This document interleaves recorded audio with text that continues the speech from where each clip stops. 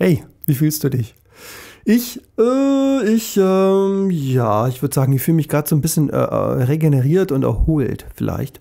Ein bisschen aufgetankt. Also ich habe ein starkes Verlangen einfach die letzten Tage, eigentlich schon, naja, mindestens sagen wir mal, so zwei Wochen irgendwie nach Ruhe und Rückzug und eigentlich irgendwie so für mich sein wollen. Und das war jetzt in der letzten Zeit irgendwie sehr stark. Hab dem auch nachgegeben und habe mir diese Ruhe und diesen Rückzug gegönnt und mich mal ausge koppelt aus dem ganzen Wahnsinn, der da so um einen herum irgendwie so tobt und das hat mir eigentlich ganz gut getan.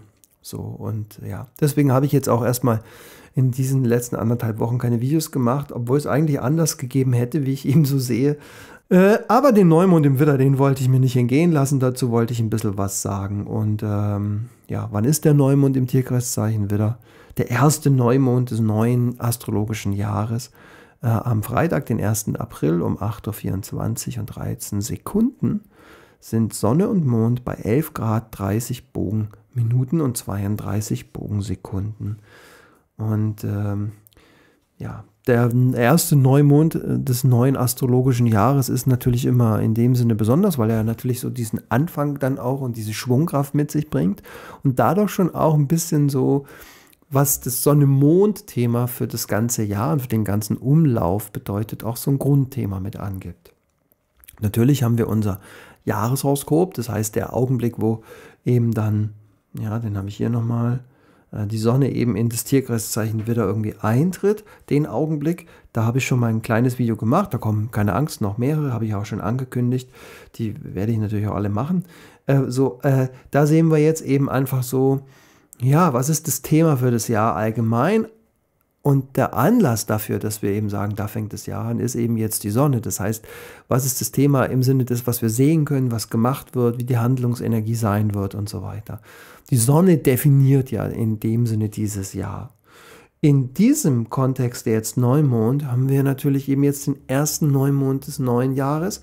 Das heißt, das Beziehungsthema zwischen Innenwelt und Außenwelt, zwischen nach außen machen und innerlich sich dabei fühlen, das ist äh, das, was dann im Vordergrund steht. Und da könnte man schon so sagen, dass der erste Neumond des Jahres natürlich eben auch so dann die Überschrift für alle Neumonde des Jahres irgendwie legt.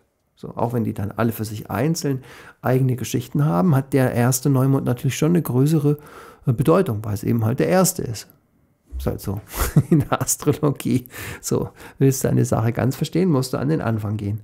Sage ich jetzt mal so vereinfacht. Und äh, deshalb, ähm, ja, hat der schon für mich eine speziellere Bedeutung, diese Geburt äh, der Neumond-Thematik.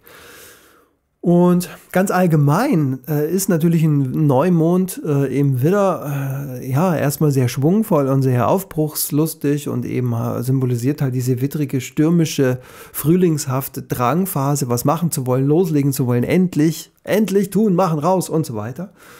Und ähm, ja, Mehr braucht man dazu gar nicht irgendwie sagen. Und das macht es natürlich jetzt aber dann insgesamt ein bisschen schwierig, wenn wir uns dann den Augenblick anschauen, der mindestens eben hier für Berlin, also deutschlandweit, äh, zu, äh, Gültigkeit hat, weil wir eben um 8.24 Uhr und 13 Sekunden gerade noch so einen Stieraszendenten haben. Werden wir gleich angucken, wie man das eventuell sehen könnte. Und dabei fällt dann eben der Neumond ins zwölfte Haus. Und das Tierkreiszeichen Widder ist eingeschlossen im zwölften Haus. Das heißt, dieser Widderneumond, der ist so ein bisschen weggesperrt.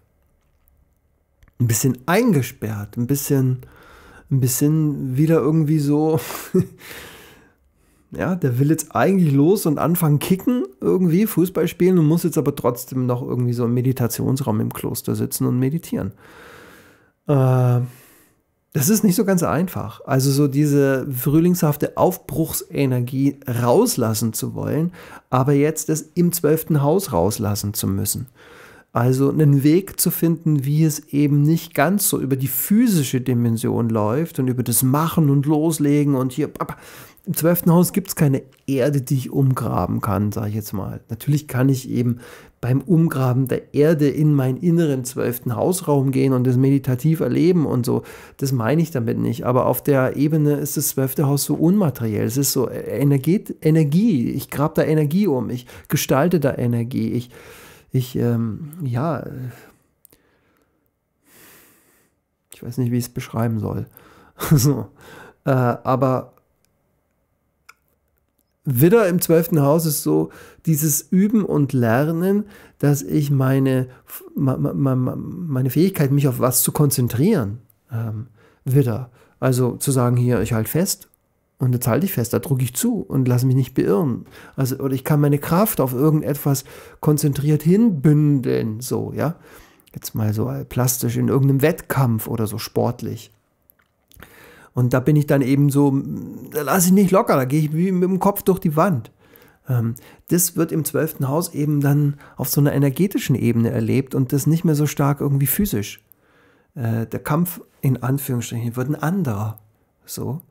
Ähm, und äh, da dauert es ein bisschen, bis diese witterige Energie versteht, dass es hier offensichtlich um mein, mein, mein Fokus geht, also die Fähigkeit, meinen Willen auf was zu richten, meine Aufmerksamkeit auf etwas zu richten. Dass mein Willen ist meine übertragenen Augen. Witter ist ja auch quasi ein Augenjäger, ein Augenjäger. Äh, meine übertragenen Augen äh, auf was zu richten. Und dieses Objekt meiner Begierde oder das, was ich da erlegen möchte oder das mir wichtig ist, das nicht mehr aus den Augen zu lassen und mich nicht ablenken zu lassen durch all das, was dann so im Außen um mich herum irgendwie tobt. Und das nennt man ja fokussieren. Das heißt, kann ich fokussieren, kann ich meinen mentalen Fokus, habe ich Kontrolle darüber. Äh, und äh, wenn ich das hinbekomme, diese Widerfähigkeit im zwölften Haus, dann habe ich eigentlich immer, also wie auch immer, dann ist archetypisch, dann habe ich einen Stieraszendent, dann wird eben, das, dann ist das Anliegen eben Materie. Das heißt, äh, habe ich äh, meinen Fokus im Griff, dann wird diese Stierwelt ein Schlaraffenland. dann wird diese physische Welt ein Schlaraffenland der sinnlichen Sinne. Und äh, ja, Punkt.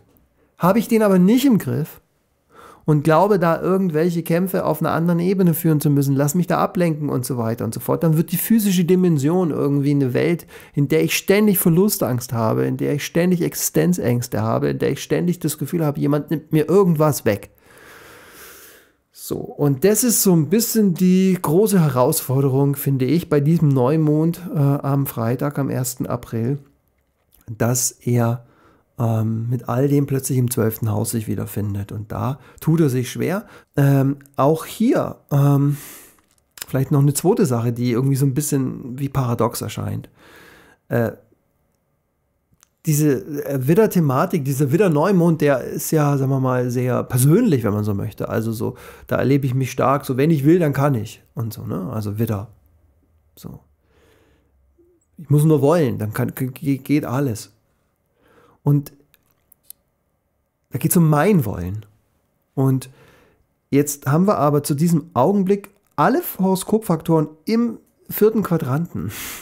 Und der vierte Quadrant ist ebenso von mir aus das Überpersönliche. Da erlebe ich im vierten Quadranten, dass es dann noch ein größeres Wollen gibt. Dass es dann noch was gibt, was über meinem Wollen ist, meinem Kleinwollen. Und dieses Größere des vierten Quadrantes, ähm, Quadranten, das äh, übersetzen wir ja häufig dann, sagen wir mal, mehr so in Gesellschaftsdimensionen und, und gesellschaftliches Vokabular.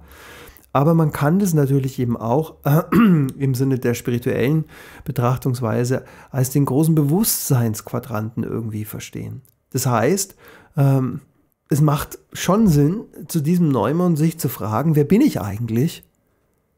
Bin ich mein Körper? Erster Quadrant. Hm. Auch, aber eben nicht. Nur. Bin ich meine Gefühle, meine Seele, zweiter Quadrant? Hm. Auch, aber irgendwie auch nicht. Bin ich meine Gedanken? Bin ich mein Geist, dritter Quadrant, der geistige Quadrant? Ja, auch, aber eben nicht. Und damit hätten wir so die klassische Dreiteilung, die wir oft immer benutzen, dass wir sagen, der Mensch ist irgendwie Körper, Seele, Geist. Ja, aber in der Astrologie haben wir noch einen vierten Quadranten. Da gibt es noch was, was dazugehört und was die oberste Hierarchie symbolisiert. Und das ist eben dann in dem Sinne vielleicht als neutralstes Wort Bewusstsein. Ein Bewusstsein denkt, ein Bewusstsein, ja, wie auch immer, bringt Gedanken hervor Je nachdem, wie die Gedanken zu dem Bewusstsein passen, entstehen dann die Gefühle. Und wenn dann diese Gefühle länger da sind, die ja nur sozusagen zeigen, wie die Energie äh, zwischen dem großen Bewusstsein und dem kleinen Wollen irgendwie äh, äh, sich verhält, dann materialisiert sich da eben äh, körperliches, wie auch immer, Materie, äh, erster Quadrant. Das heißt, äh, wer bin ich, wenn ich nicht denke? Bin ich meine Gefühle? Nee, das bin ich eben alles nicht. Äh, da gibt es so ein Bewusstsein. Und dieses Bewusstsein im vierten Quadranten, jetzt mache ich das doch nochmal, ich habe das vorher schon, äh, mal ganz kurz was ändern. Ich will mal kurz den 90-Grad-Kreis wegmachen, sodass wir irgendwie die Pfeile hier haben. Das Bewusstsein ist nämlich dann im vierten Quadranten der Teil, der eigentlich um das Horoskop ist. Also, ich weiß nicht, ob man das jetzt, jetzt hier, äh, der, der Raum um das Horoskop, also um den Kreis herum, wo die Pfeile dann so reingehen, der bedeutet ja auch was.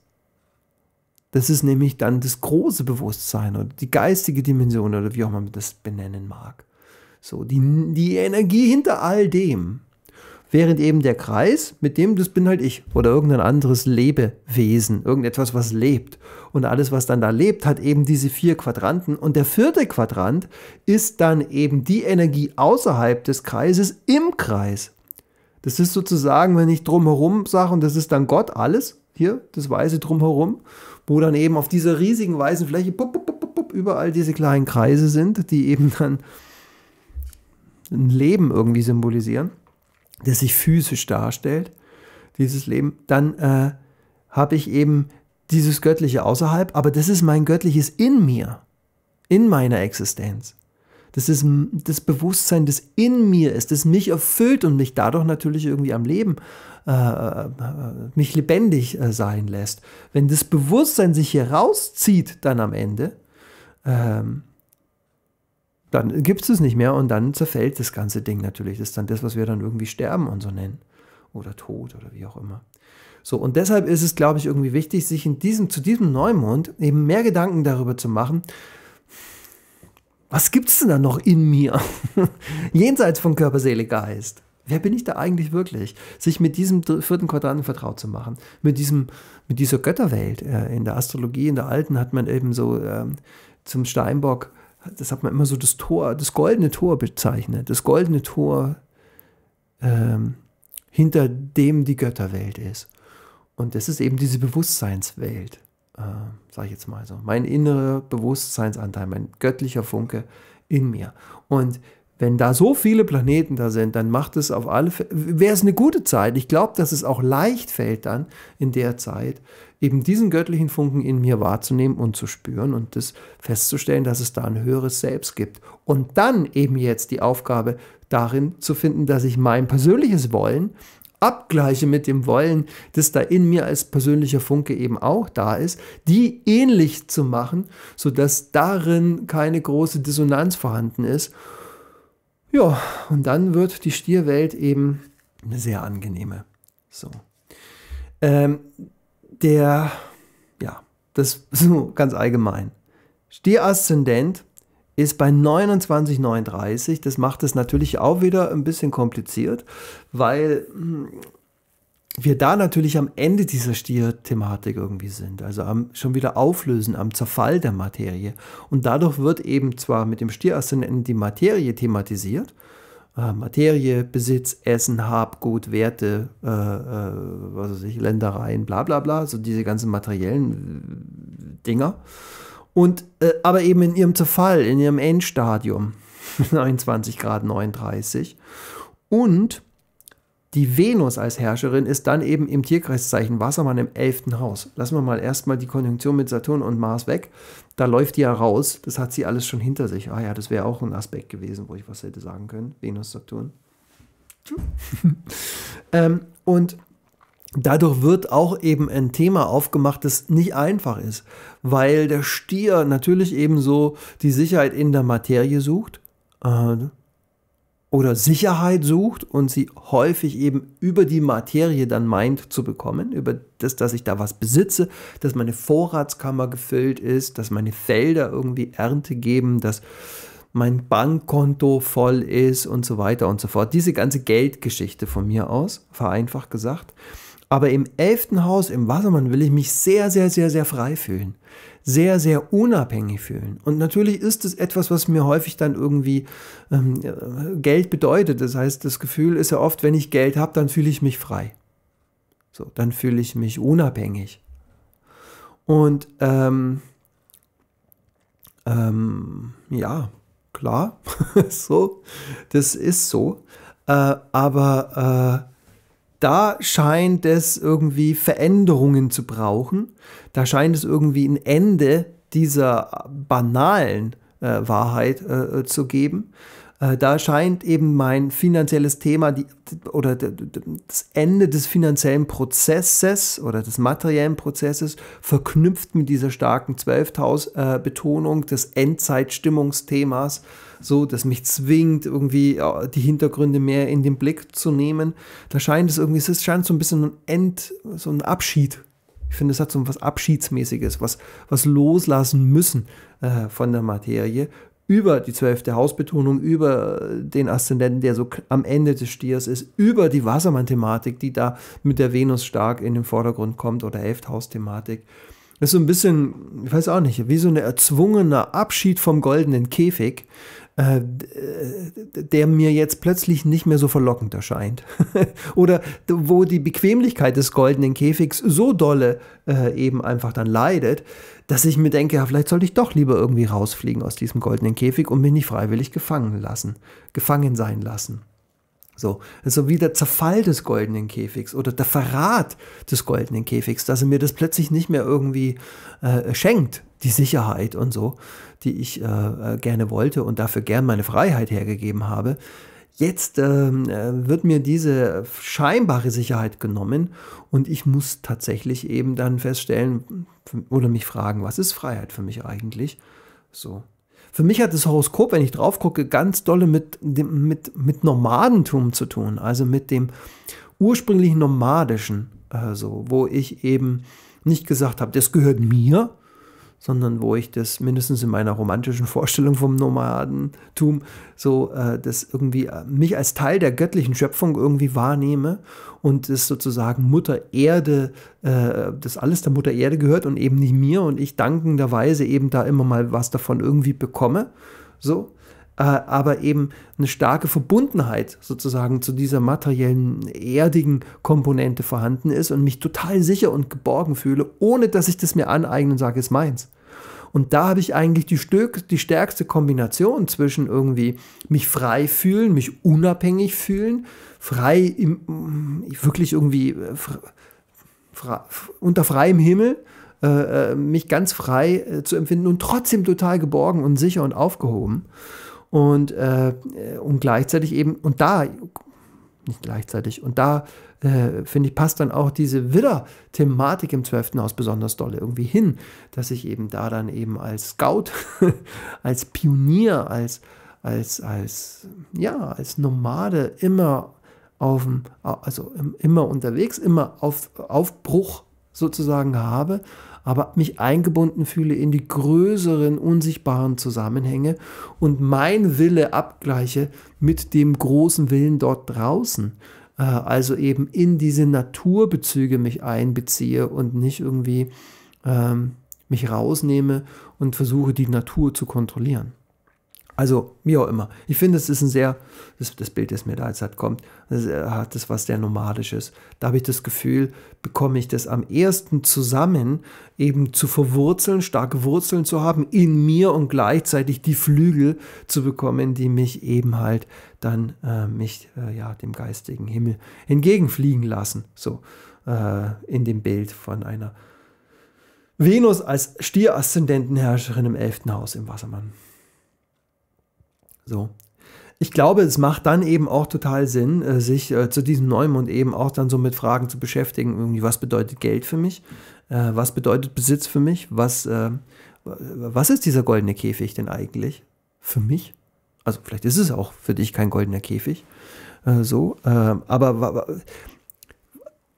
wie entsteht Materie? Woher kommt Materie?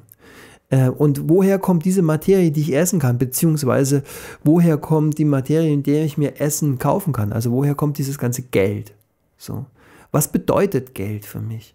Ich glaube, dass es Sinn macht, da mal genauer hinzuspüren und das zu erforschen, weil wir da eben ja dann auch einfach über unsere Familiengeschichte und so viele scheinbar Wahrheiten und Gesetze äh, äh, äh, beigebracht bekommen haben, was denn Geld bedeutet, wie man zu Geld kommt, was Geld über einen aussagt und so weiter und so fort.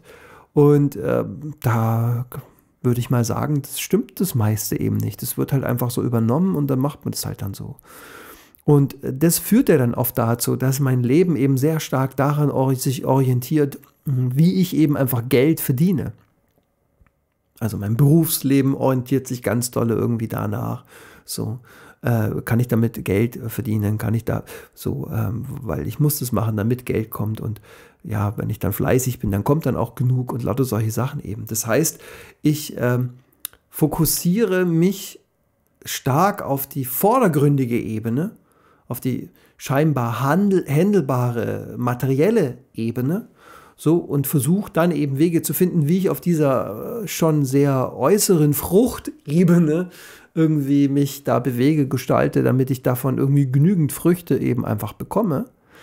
Wenn jetzt aber eben die äußeren Umstände sich dann so verändern, dass die klassischen, traditionellen Vorgänge nicht mehr funktionieren und ich, dann weiß ich nicht mehr, wie ich das eigentlich irgendwie, was ich machen muss oder machen kann, damit ich weiterhin eben dann ähm, meine Brötchen oder was auch immer irgendwie bekomme, die Kohle habe, um irgendwas zu bezahlen oder zu besitzen dann äh, entsteht ja eine große Sorge, eine große Ängste, große Existenzängste und so weiter und so fort. Und das ist so ein bisschen irgendwie das Problem, mit dem wir vielleicht die letzten 70 Jahre nicht so groß konfrontiert waren, weil man es primär immer irgendwie auf eine ähnliche Art hinbekommen haben hätte können.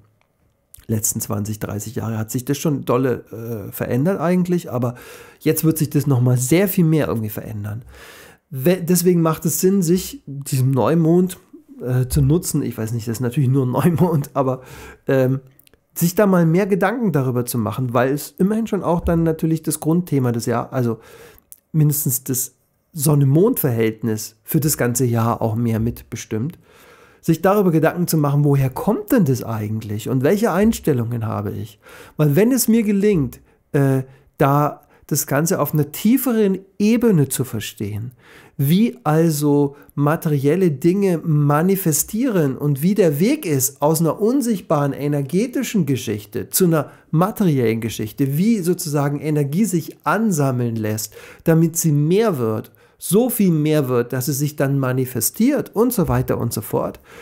Wenn ich je mehr ich sozusagen da meine Willenskraft auf dieser energetischen Ebene kennenlerne, desto unabhängiger werde ich von der konkreten Ebene im Außen, weil ich dann eben weiß, wie ich meine innere Dimension lenken und kontrollieren muss und steuern muss und modellieren muss, dass es in mir eben einen bestimmten Zustand gibt, der von mir jetzt dann mit Fülle und sowas zu tun hat. Und wenn der dann da ist, dann ist es ganz natürlich und normal, dass sich diese Fülle immer in irgendeiner Form materialisiert. Und zwar dann auf die Art und Weise materialisiert, wie die Umstände das im Außen gerade irgendwie möglich machen oder was die da gerade irgendwie äh, als äußere Fülle akzeptieren oder äh, ich weiß nicht, wie ich das. Also, du weißt, was ich meine. Es ist besser zu wissen, wie die Dinge irgendwie sich gestalten, als sich nur auf der Ebene äh, als Spezialist zu empfinden, äh, wo die Dinge schon längst gestaltet sind. Weil wenn sich dann die Umstände ändern, bin ich am Arsch. So. Wenn sich die Umstände ändern und ich äh, Experte bin für die unsichtbaren Ebenen dahinter, dann sind die Umstände nicht wichtig, weil die Fülle immer von mir inner erreicht wird und sie sich immer in der Form manifestiert, dass sie mich letztendlich irgendwie trägt. Und das macht mal Sinn, darüber sich Gedanken zu machen, wie man das alles irgendwie für sich versteht, um äh, vielleicht diesen Neumond und auch diese Kompliziertheit, die ich jedenfalls persönlich in diesem Neumond in, äh, empfinde, äh, in diesem Augenblick, um die, äh, glaube ich, äh, gut, gut zu lösen. Es gibt ein Video, fällt mir jetzt gerade ein, äh, das ich mal gemacht habe. Das heißt äh, Liebesbrief ans Geld. Der Liebesbrief ans Geld. Mein Liebesbrief ans Geld. Und ähm, äh, das musste mal, vielleicht kann ich das irgendwie als Link unten mit reinmachen. kannst du auch suchen sozusagen auf meinem Kanal, Liebesbrief ans Geld. Da gibt es auch einen Artikel äh, auf dem Blog hokuspokusfokus.de, wo dann auch mein Liebesbrief, wie ich ihn formuliert habe, irgendwie zu lesen ist, als Inspirationsquelle. Und dieser Liebesbrief war so als Idee gedacht, A, mal darüber nachzudenken, wie ist überhaupt mein Verhältnis zu Geld und B, für sich mal herauszufinden, wie fühle ich mich eigentlich zu Geld. Denn das ist was, was den allermeisten Menschen meiner Meinung nach, meiner Erfahrung nach häufig gar nicht bewusst ist, wie sie sich zu Geld eigentlich empfinden, äh, weil es in den allermeisten Fällen ein meistens unschönes Gefühl ist, das aber so gewöhnlich ist, so chronisch geworden ist, so alltäglich geworden ist, dass man das gar nicht mehr als ein unwohlsames Gefühl irgendwie identifiziert im Alltag, sondern nur in besonderen Situationen, wenn man dann irgendwie eine Rechnung zu bezahlen hat oder, oder, oder, oder. Dann taucht plötzlich irgendwie das akute Gefühl zu meinem Verhältnis zu Geld äh, auf. Dann kriege ich das so ein bisschen mit, dass sich das vielleicht unwohl anfühlt oder so. Ähm, und dann denkt man sich, ja, ist ja nur weil wegen der Rechnung ansonsten nicht. Aber ähm, nee. Auch eine Rechnung zu bezahlen sollte eigentlich kein Unwohlsein äh, äh hinterlassen. Egal. Das, äh, äh, vielleicht äh, mag das äh, Video für dich eine kleine Inspiration sein, einfach mal über Geld, Besitz und Werte und sowas nachzudenken, wie dein Verhältnis dazu ist, um eben einfach mal zu gucken, welche Glaubenssätze du dazu eben auch hast. Also das heißt, welche Wahrheiten du so etabliert hast zum Thema Geld. Analog dann eben zu Besitz, Hab und Gut und Werte und sowas. Und ähm, die werden jetzt, glaube ich, gut, wenn man da andere für sich irgendwie entwickelt damit du dich davon ein bisschen löst. Weil ich glaube, die Zeiten werden jetzt ein bisschen turbulent, was das ganze Materielle angeht und möglicherweise eben vielleicht auch ein bisschen irgendwie äh, knapper. So. Äh, und äh, da macht es dann Sinn, nicht ganz so abhängig zu sein von den äußeren Umständen und eine innere Sicherheit, ein inneres Vertrauen irgendwie zu haben und innere Gewissheit zu haben, dass man weiß, wie, mindestens, dass man eine Ahnung vielleicht hat, Vielleicht ist es auch nur eine Wahnidee, dass man sich einbildet zu wissen, wie sich Dinge irgendwie gestalten lassen. Auf einer energetischen Ebene und dann eben auf einer materiellen Ebene. Das wären jetzt einfach mal so ein paar Gedanken grundsätzlicher Natur. Ich meine, dass der Pluto oben am äh, MC steht, am Steinbock, deutet natürlich auch das nochmal irgendwie an, dass wir hier eben einfach, ja, dass sich da vieles transformieren möchte und ähm, auf den Kopf gestellt wird. Äh, so. Und ähm, es aber mit dem Trigon eigentlich leicht fällt. Und äh, ja, ähm, und deshalb, da will ich jetzt gar nicht so groß drauf eingehen. Auch dann der Herrscher vom MC, der Saturn ist dann im 11. Haus. So auch da wieder irgendwie das Thema Freiheit. Also wie gesagt, ich glaube, äh, das ist ganz gut so zusammengefasst mit dem, was ich vorher jetzt so ausführlich besprochen habe. Mach dir Gedanken über die materielle Ebene und die Werte und wie du da frei was für dich Freiheit eigentlich bedeutet und wie du da frei werden kannst, freier werden kannst und dich sicherer fühlen kannst auf einer tieferen inneren Ebene. Was ist deine eigentliche Währung? So. Und äh, in dir. so, das macht, glaube ich, Sinn. Also, weil es ist interessant, also weil der, äh, das zweite Haus zielt eben auf das zweite Haus ab, also will die Finanz, also das Erde, das Erde-Thema ist stark mit dem zwölften Haus verknüpft. Also das Zweite Haus, Besitz, Geld, ist der Herr Merkur, der Herrscher, ist im zwölften Haus beim Neumond mit dabei. Also da müssen wir die Hintergründe irgendwie besser verstehen. Dann ist der Merkur auch Herrscher vom sechsten Haus, also vom Arbeitsalltag, auch wieder das Erdhaus. Müssen wir die Hintergründe besser äh, verstehen in Kombination mit dem Neumond. So, und von mir aus jetzt dann das dritte Erdhaus, das zehnte, da haben wir jetzt den Herrscher nicht im zwölften, aber immerhin im elften Haus. Geht es auch mehr so um eine größere Perspektive irgendwie zu bekommen, die mich freier fühlen lässt. Das heißt, die ganze Erdthematik ist im Horoskop stark mit dem 12. Haus verknüpft. Dann haben wir eben das Erdzeichen als Aszendentenherrscher. Das ist im 11. Haus Wassermann irgendwie so verknüpft. Also auch da eher freier, unabhängiger von der ganzen Thematik zu werden. Und meine Interpretation summa summarum ist eben, verstehe mehr, wie deine Bezüge dazu sind, wie du das sozusagen für dich regelst um da für dich da was ändern zu können, um durch deine Veränderung, durch deine andere Sichtweise auf das alles eben äh, freier und unabhängiger zu werden von den äußeren Umständen, sodass du mehr bei dir bist und eben diese Sicherheit und diese Fülle in dir erlebst. Und wenn du das in dir sicher findest, dann zeigt sich das in jeden Umständen, also zu jeden Umständen, die du äh, dann im Außen erlebst, wird sich das dann, diese Sicherheit und diese Fülle und dieses Wohlbefinden, wie auch immer, manifestieren. Und dazu hat der Neumann, glaube ich, viel damit zu tun. So, ja. Äh, ganz äh, äh überhöht, äh, ich weiß gar nicht, wie man das dann eben, ist das Blas Blasphemie, blasphemisch irgendwie formuliert. Wenn du eben zu diesem Neumond feststellst, dass du Gott bist äh, und göttlich, ja, dann ist das mit den Umständen keine Frage. so, und muss sich durch Umstände nicht bedroht fühlen. Gut, dann grüßt dich mein innerer göttlicher Anteil, grüßt deinen inneren göttlichen Anteil und ich wünsche dir eine gute Zeit. Wir sehen uns dann beim nächsten, bis zum nächsten Video. Ich habe keine Ahnung, wann das sein wird. Allerspätestens zur Konjunktion von Jupiter und Neptun. Aber vielleicht bekomme ich wieder ein bisschen mehr Lust, mehr Sendungsbewusstsein. Ich merke schon, dass ich äh, mich nicht unbedingt kürzer gefasst habe durch diese Pause. Also irgendwas will da immer reden. Ähm, und äh, ja, und ich äh, hole sicherlich noch ein paar Videos nach und mache auf alle Fälle ja noch ein paar Videos zu dieser ganzen Jahreshoroskops-Thematik. Ja, eine gute Zeit. Viel Ruhe, Besinnlichkeit und Sicherheit in dir in diesen sehr verrückten Zeiten. Alles Gute. Bis dann. Tschüss.